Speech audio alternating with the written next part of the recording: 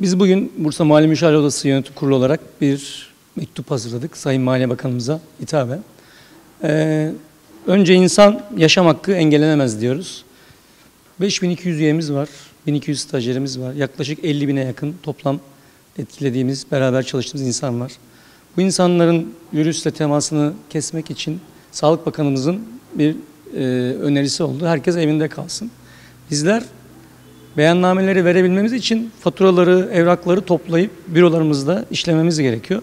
Bu aşamada bütün e, süreçlerde virüsün kağıt üzerinde 4 gün yaşadığı söyleniyor. Böylece kendi canımızdan vazgeçtik, çalışanlarımızın vebalini taşıyoruz.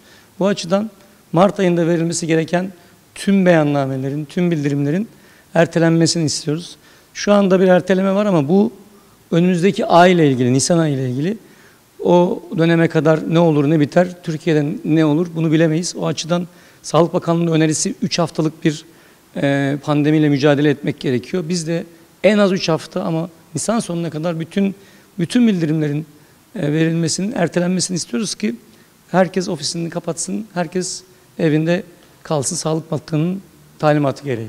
Yaklaşık e, bütün mükellefler sonuçta 2,5 milyon mükellef var Türkiye'de ama 120 bin mali müşavir var Türk, tüm Türkiye'de. Bunların yanında çalışanlar ve şirketlerde çalışanları saydığımız zaman tam 1 milyon kişi etkiliyor.